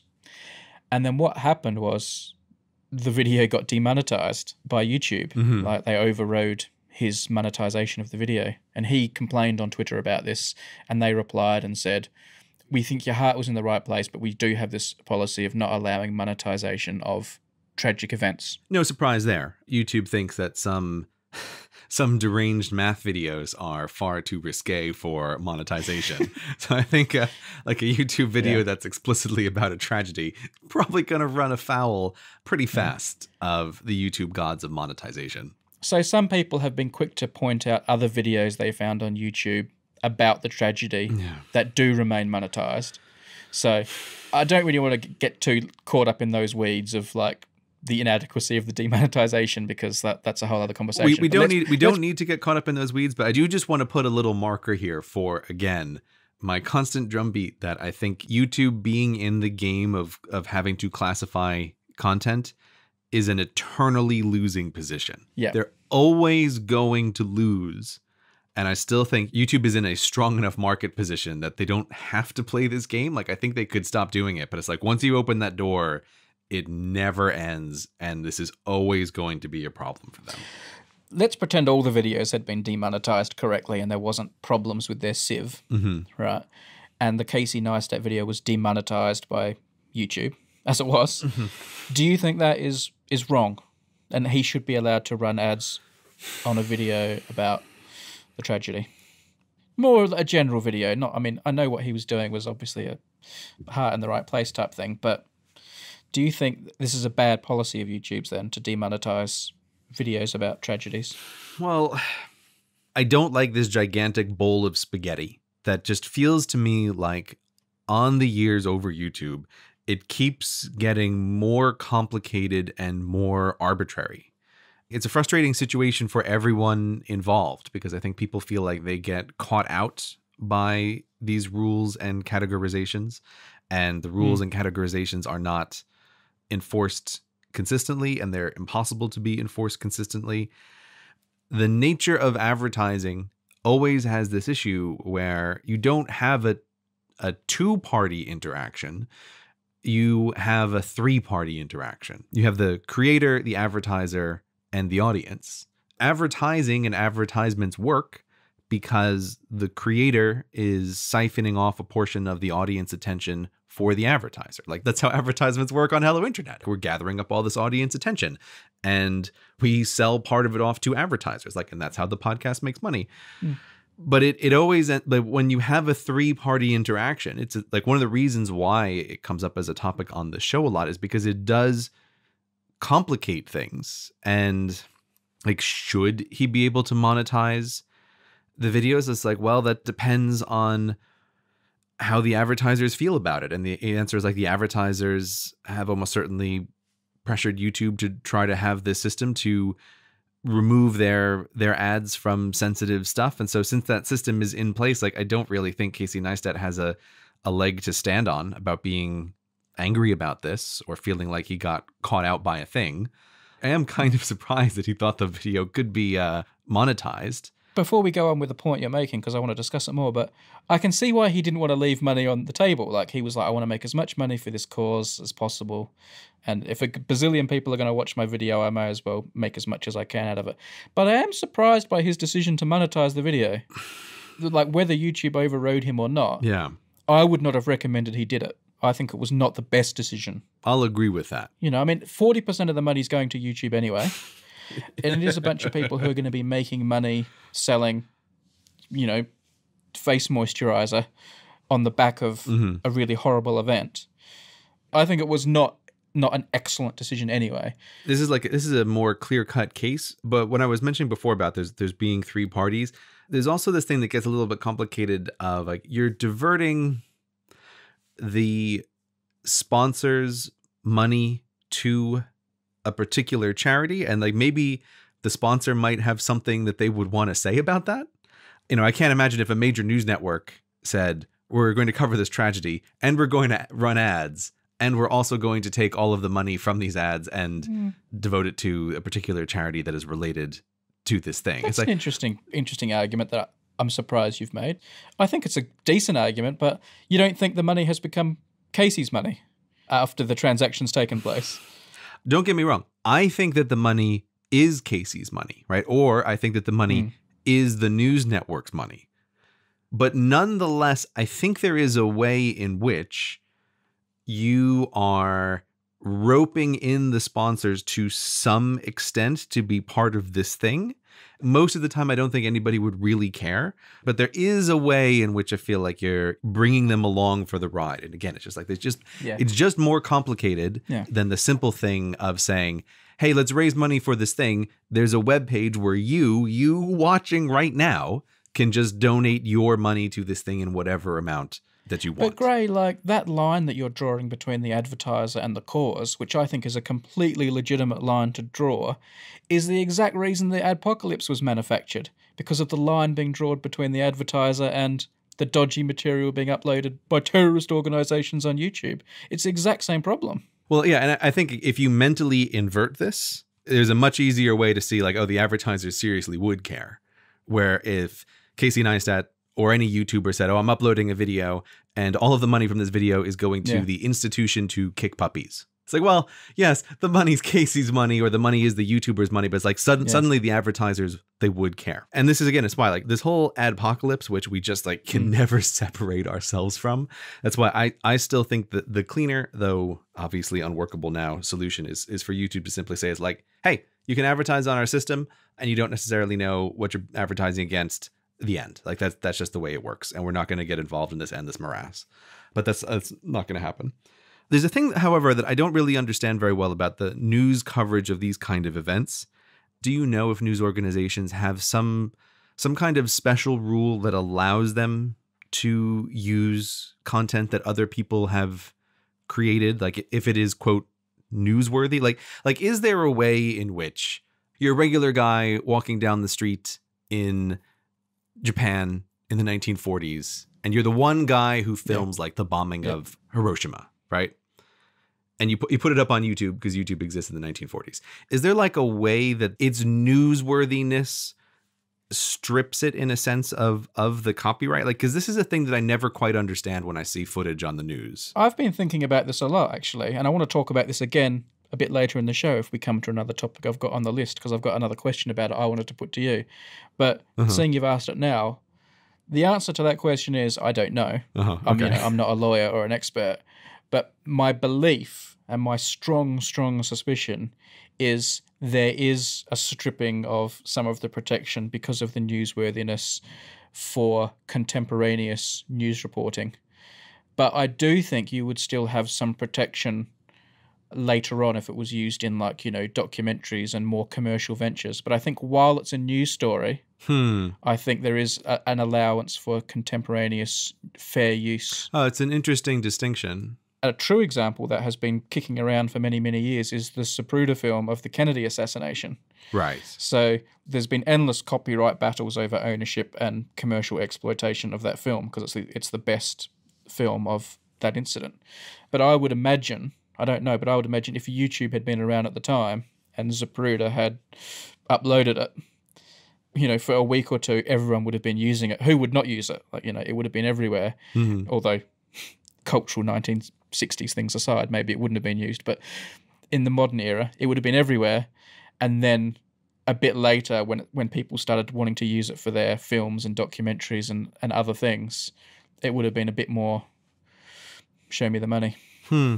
That's what I think, but that's just me. I'm not an expert. Yeah.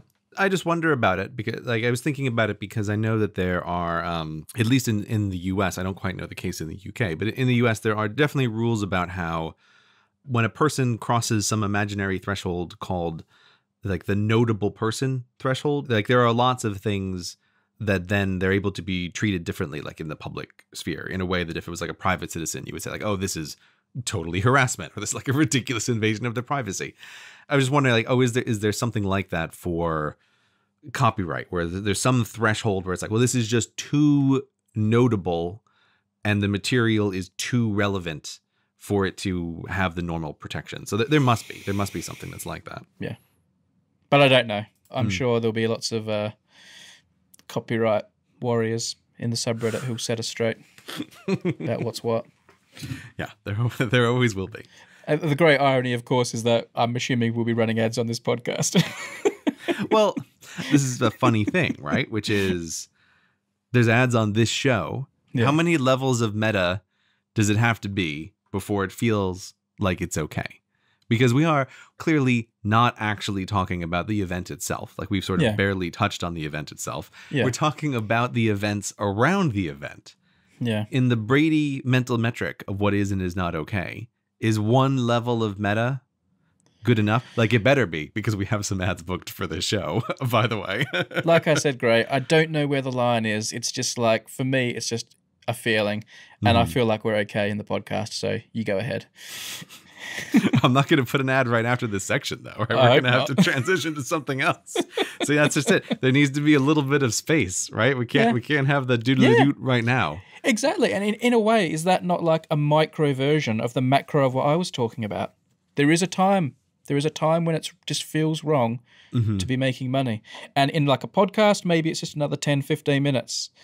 And when the event is actually happening and it's CNN, maybe it's two or three hours. But there is, it's there. We all feel it. You feel it, you know, we all feel it.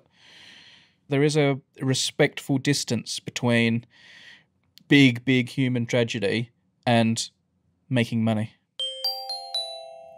Grey, another kind of in the news type one that I wanted to quickly ask you about. The Nobel Prize in Physics was just recently awarded for 2017, and it was given for the gravitational wave stuff. Can I stop you right there, Brady? Are the Nobel Prizes the different ones, the physics one, the chemistry? I feel like the Nobel Prize has come up so many times in this podcast. Are they given out at different times of the year? No, they do them all in like a batch. The economics one is usually a couple of weeks later, but they have them day after day, all consecutive days normally. I thought there was no economics Nobel Prize. Yeah, there is, but it's done by a different mob. Oh. So it's like the Nobel Prize that's not a Nobel Prize. Oh, okay. All right. So the Nobel Prizes are all done at the same time. It's just my perception of time is terrible. That's what it is. Yeah. Okay. I think that's it. I think it's your perception of time. okay. Got it. Right. Uh, so they, they the physics one has been given for the gravitational wave discovery, Mhm. and it was given jointly to three gentlemen who were involved with the organizations that made the discovery. Now, almost more than any other Nobel Prize that's been given out, this has brought to a head what I think is a problem for the Nobel Prize, and I don't know which side of the fence I'm on, and that is is it right? Because there's a rule that Nobel Prizes have to be given to people, individuals, and no more than three. So they gave this one to people who were quite senior and quite important to do with this LIGO detector that made the discovery. But LIGO is this massive collaboration. There's these two huge facilities on different parts of America that made the discovery. Lots and lots of different people are involved. But just three people get the medal and the money. And as science becomes bigger and bigger and more collaborative, more and more people are starting to rumble about being unhappy about this Nobel Prize rule. And they think, why not just give it to an organization? Why not just say the Nobel Prize goes to the LIGO collaboration? Why does it have to be given to people? Now, before you all jump up and down, I am aware that the Nobel Peace Prize does get given to organizations, but we're not talking about the Nobel Peace Prize because I think that's a very, very different kettle of fish to the other ones. And that's a dopey prize anyway, let's be honest. Yeah, it's becoming more and more questionable every year, that prize. That's yeah. the real special child of the Nobel Prizes. Like, yeah. Sorry yeah. if there's any Tims out there clutching a Nobel Peace Prize in their Mm. hands at this very moment, but that's it's clearly the worst one. But coming back to the science ones, people are saying, come on, this is an old fashioned rule. Science has moved on. It's not like, you know, a lone genius burning the midnight oil coming up with an amazing discovery. It's now these massive, massive multinational, thousands of people collaborations, and just cherry picking one or two people is becoming nearly impossible. I'm wondering what you think about that because here are the two arguments in my mind. One is, of course, that's correct. It's time to move on and give the prizes to organizations. But the other argument, and the one that I feel quite strongly, is that the Nobel Prize, as much as being a prize for scientists, is like a massive PR exercise for science. And the giving it to people is like the Olympics, and you get these heroes and eh, amazing stories, and it's about like personality and tales to be told and things like that. And if we just start making it like corporate awards, the Nobel Prize goes to the LIGO collaboration. That means nothing. Like it doesn't speak to me. It doesn't seem quite as visceral a story. It's not as inspiring to me. And I think the Nobel Prize have a very important role in the world and for science in doing that. So, what do you think? I mean, those are two good arguments, Brady. But there's there's another Hmm. thing here, which is you're leaving out the wishes of poor Alfred Nobel. He set up this foundation, right? Yeah. He set up this foundation to promote goodness in science forever, and he set up the rules. Presumably, Alfred Nobel set up the rules saying that it's going to be given to people, it's not going to be given organizations. Do you want to reach back in time and destroy the tradition and destroy the wishes of Alfred Nobel and the foundation that he set up? Like, is that a thing that you would want to do? Or do you think that we should honor the intent of the founder here for all time? Like, can this even be a thing that we could change? You said the word there yourself, though the intent. Mm-hmm. What was his intent versus the words of his will? Well, that's where you're getting into some like Weasley lawyer stuff, I think, right? I think that like the words of the will are like this is what we have. We have language to try to describe what it is that we want to do. Should the words of the foundation that the founder has set up be able to be changed? That's like a clear-cut question about whether whether or not like you can undo what the founder wanted. I mean, the argument against that is that so long ago he didn't foresee what science would become this kind of, you know, multinational collaboration and what would be necessary to advance science. Because he wanted to advance science. Yeah. And he lived at a time when two or three people could advance science just laboring away in their lab. Whereas there's not much science that can be advanced in that way anymore. I do agree with that. Times change, right? And you can't foresee the future. It's like the Constitution of the United States, right? It has a mechanism to amend itself because a bunch of farmers 300 years ago, they can't know the future. But I am slightly uncomfortable with the idea of setting precedences to say like, well, we know what the what the founder would have really wanted. I think that's a it's a door that's a little bit dangerous to open and I think it's interesting because some foundations are set up with like a countdown clock. Hmm. I think most famously the Gates Foundation has this where whatever it is, like the day the Gateses die, there's a clock that counts down for something like 50 years. And at the end of that time, all of the money in the Gates Foundation has to have been spent. Right. The reason that that is set up is precisely so that the foundation doesn't become a thing that that drifts too far away from its original intentions. That's a thing that can happen, but it's obviously not a thing that Alfred Nobel himself actually did. So, I don't know, like I feel kind of biased towards respecting the wishes of the original founder and not changing. Here's the slightly tricky bit, Grey. I'm reading Nobel's will at the moment. oh, really? Okay, you pulled it up, right? Okay, great. Yeah, and like I'm aware that the Nobel Foundation, like the prize people, have a statute that says no more than three people can have the prize. Mhm. But I can't actually find it in his will. Hmm. And the will just always refers to a person. It shall go to the person who one part to the person who made the most important discovery or invention in the field of physics, Mhm. one part to the person who should made the most important chemical discovery or improvement. He actually also, for the Peace Prize, there's literature as well, and for the Peace Prize, he also talks about the person who have done the most best work for fraternity between nations, for the abolition or reduction of standing armies and holding and promotion of peace congresses. So if you actually go to the wording of his will, then you either are freed up somewhat or you're more restricted to give it to one person each time. Well, it sounds like at the very least there's already been monkeying around, so that door is Mm. open. Okay, great. So, right, screw you, Nobel. That's your position. right? Like we're gonna we're gonna do I- things. I'm assuming I'm looking at the full will, but your position is if if his will specifically said three, you have to stick with it. If you've already monkeyed, then m- more monkeying is permissible. okay. Just to finish the discussion, then, let's say that you are comfortable with monkeying. The genie's out of the bottle. They've already changed the rules once, so now rule changes are allowed. Do you think you should recognize multi collaborations and start giving the prize to institutions?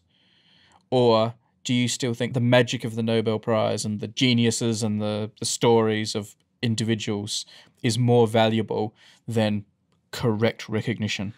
Well, I mean, you're not gonna like hearing this, Brady, but I'm not sure how valuable this story thing is. I think your Yeah. brain is biased towards that. Like you always love the stories of the thing, and I find that very Yeah. charming about you.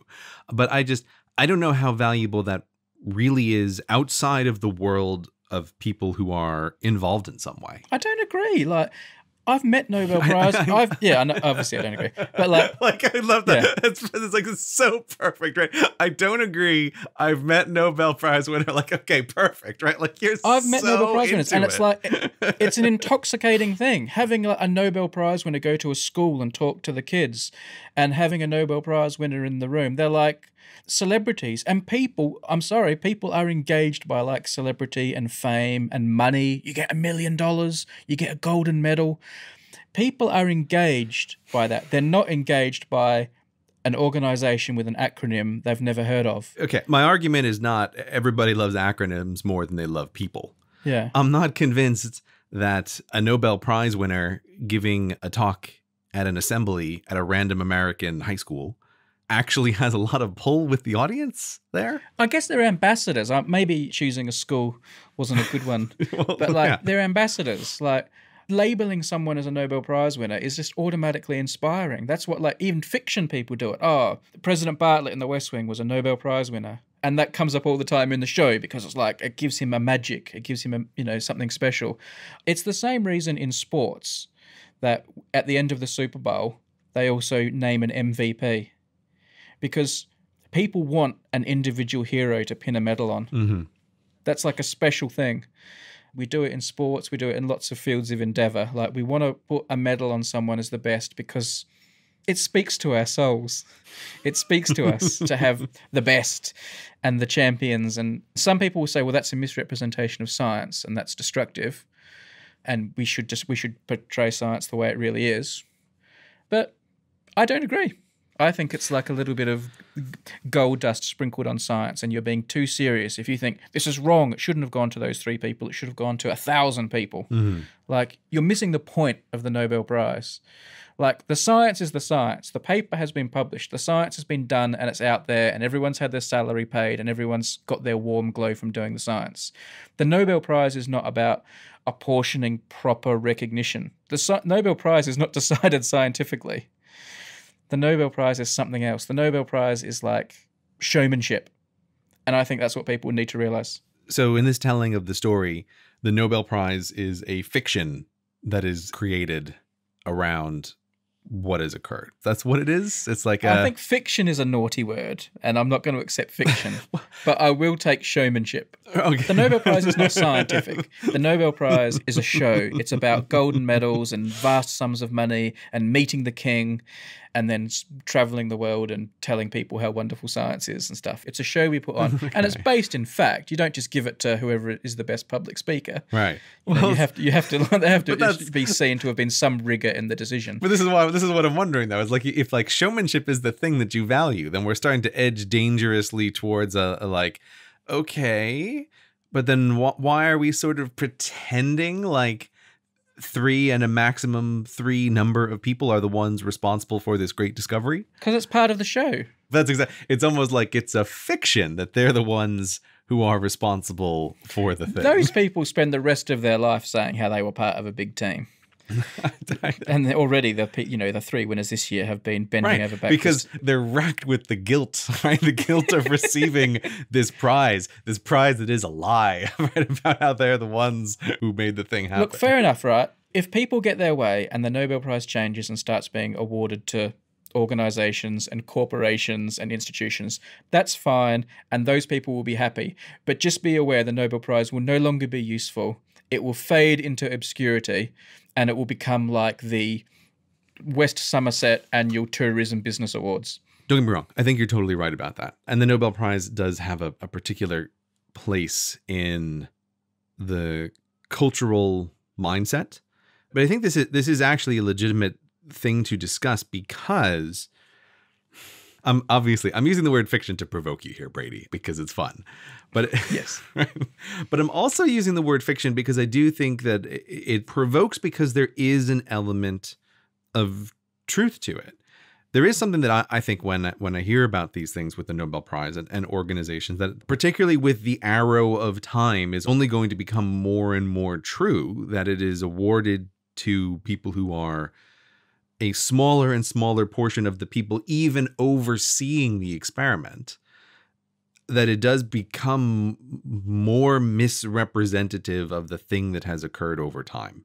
And it's like well does the nobel prize become a thing that is a boring award between an organization to another organization? It's like well yes maybe that is what it becomes because that is the thing that is happening the story around the award is the representation of reality. That in order to make any progress, particularly in a field like physics, you need thousands and thousands of people. Like, and you need billions of dollars and you need huge amounts of time because physics is a field that has progressed so far. Like, you're just not going to make progress otherwise. That's a good point you make. And you, you can almost say it serves science interests for science to be depicted realistically. But I don't think that serves science interests mm-hmm. because this is what happens. Say LIGO got this Nobel Prize, mm-hmm. right? And then in five years' time, LIGO needs $10 billion from the government to do the next thing they want to do. They need that money. If you walk into the room as the chief executive of LIGO and say to the president of the United States, Sir, we, we really want this money. And he says, or she says, What have you done? What have you done to get this money? And they reply, Oh, we won the Nobel Prize. LIGO won the Nobel Prize. It's like, Oh, that's good. But you're not having, you know, you've already won the prize. We're not going to give you $10 billion. But if an individual can walk into the room with the aura of being a Nobel Prize winner as a representative of LIGO and say, Oh, look, that's Kip Thorne. He won the Nobel Prize. He has more clout He's more of a celebrity as an individual Nobel Prize winner with a story and a medal, and he met the king and he's traveled the world and he's lauded everywhere he goes. He has more cachet, I believe, as an individual advocating science than an organization will have that just has the prize sitting in its foyer back in wherever they are based. I think I think individuals are more powerful. I think they're more powerful advocates for science and they do more good. So I think it's in science's best interests to keep the Nobel Prize as it is. Right, to maintain that fiction. I like I totally agree with you that the the person has more power. But what I think is occurring here is the person has more power because of the cultural inertia behind like updating the mental model of what the Nobel Prize is yes, that person has has more power because we still think of the Nobel Prize as this great person who has wrought a discovery from nature. Mm. Okay, like mm. tell me what you did to win that Nobel Prize. It's like, oh well, I, I oversaw a staff of two thousand people. It's like, yeah, it's like, oh, okay. So I, I signed everyone's expenses claim. I'm, I'm going to say a thing that's going to sound absolutely terrible and is, is almost certainly not true, but in some ways, a modern Nobel Prize is is like an achievement in management award. I think it really is. Like you have to be able to oversee this thing, you have to be able to raise funds for it, you have to make sure this whole project that can take place smoothly over the course of decades. I understand your position that like an individual has more power as an ambassador, but when the nature of the thing has changed, I think you're increasingly treading on the history of the thing as that cultural power that the person is carrying with them Yeah. that is no longer the case. I agree with you. That's what science has become. Mhm. Science has become big management. But I don't agree that's what the Nobel Prize has become. And that's what the Nobel Prize is fighting not to become. This is the whole conflict. Right, the Nobel Prize is fighting not to become management awards Right. and to try and pluck out individuals to, to keep that. But but like why are they having that conflict in the first place? The reason the conflict is happening is because the Nobel Prize is not representing the reality of the situation. That's why the conflict exists. They haven't had a team of 3 people in 20 years to award the prize where like those 3 people represent the sum total of the effort that went into the prize itself. There is a way to split the difference here, which is also entirely unsatisfying, which is to divide the Nobel Prize among everybody whose name is on the paper. That's not giving it to an organization, but that is taking the Nobel Prize and shattering it into 2,000 pieces. Right, so then it's like everybody gets a tiny speck of dust of the Nobel Prize to put on their on their mantelpiece. I think it would take away the utility of the Nobel Prize, but yeah. It may, like if I had to make a decision about what to do with the Nobel Prize in physics, that's probably where I would draw my own line. Is I say like I don't think it makes sense to award it to an organization, but I might say everybody whose name is on the paper. Yeah, but I mean, the Nobel Prize is not given for one paper. It's usually given for a, quite a massive body of work. But Okay, all right. Well, then we'll give it to the organization. Forget it. I'm not gonna. uh, this is too much. This is too much headache. This is too much administration. Fine, we'll just give it to the Yeah. organization. The Nobel Prize. It's in a bad situation here though, because I do think that awarding it to the three, there's something about it that that feels deeply unfair in a way. What they should do, and like kind of what maybe they kind of are doing, but people aren't seeing, is they need to not link it so heavily to one discovery. So give it to an individual, but for like a body of work, including that discovery, but also other stuff. So then it's more of an MVP and less of a well done on winning the Super Bowl. You know, you found the Higgs boson. It's more you're the MVP. We think you're the awesome scientist of the year. Boom, you've got it. And among the things you did was was win the Super Bowl. yeah, you've got it here, Brady. Here- here's what we do. Nobel Prize in Physics, the Lifetime Achievement Award. That's Yeah. what it is, right? Yeah. Congratulations, you won the Nobel Prize, Lifetime Achievement Award. That does lose the magic of some 18 year old thinking they can stumble over it with one great discovery. Like there is a, there is a whole, you know, penicillin type serendipity about the Nobel Prize that people like. You will sacrifice that, but it will get you around the organization problem. Yeah, but I, again, I think there's. I don't like the idea of selling that false dream to a kid. Be like, hey, you could win the Nobel Prize too if you just stumble upon a discovery that is like guaranteed not to happen, particularly in a in a field like physics. I don't like getting people on board with a with a false representation of, of what could possibly happen down the line. That award that the Nobel Prize holds out is like, ooh, you too could win one if you're just super clever. It's like, but that's not true in physics. It it hasn't been true in forever. So uh, I'm I'm perfectly fine turning it into lifetime achievement award. That works for me for the Nobel Prize. Do you ever wonder why so many ads begin with a question? Have you ever noticed there's often a second question after the first? I have, and if you have too, then you're the kind of inquisitive, bright person who should have their own website. And what better way to create a website than with Squarespace? Now, I am 100% an advocate of Squarespace. I use it myself every day to run four of my own sites. And seriously, just three hours ago, I persuaded a real life friend of mine to use it too. In fact, I hope he uses our special URL. If you're listening, Sam, it's squarespace.com slash hello, and that'll get you 10% off your first order. If you're feeling creative, trying to make your way in business, or maybe you just have something you want to share with the world, why not use the simple tools at Squarespace to start your own website? Go on then. What's your plan? Maybe a, a blog about plane crashes, a podcast on beekeeping, a shop selling limited edition sneakers. How about a photo gallery of hot stoppers from cafes around Europe? Or maybe just even a little personal CV website to show the world what you're about. Get yourself noticed by the right person. With Squarespace, it'll look great, feel professional, and I promise it will be easy to make. You can even set one up for free as a trial before committing to go live. And they also have the ability to buy a web domain built into the system if you don't have one already. People, the place to go is squarespace.com slash hello, and you can get started. There are templates there you can choose from, and then you can tweak them to your heart's content. Seriously, it's really simple. That address again, squarespace.com slash hello. Squarespace, all one word, you probably know that by now. And if you use that, they'll know you came from here. The slash hello there on the end. Oh, oh yeah, and you'll also get 10% off your first order, which is probably even more important. Our thanks to Squarespace for supporting the show. Hello, Internet. Well, that's the end of the show. I like to spread out the ads as much as possible, but that section on Las Vegas, there was no good place to put the last ad except at the very end. So here we are together, just listening to the end of the podcast. I know some people don't like it when the podcast just ends, so do you like this better? You know it's coming. I'm, I'm telling you right now. Show's over. You know, you can go home. I guess if we were a regular show, this is where there'd be some kind of wrap up.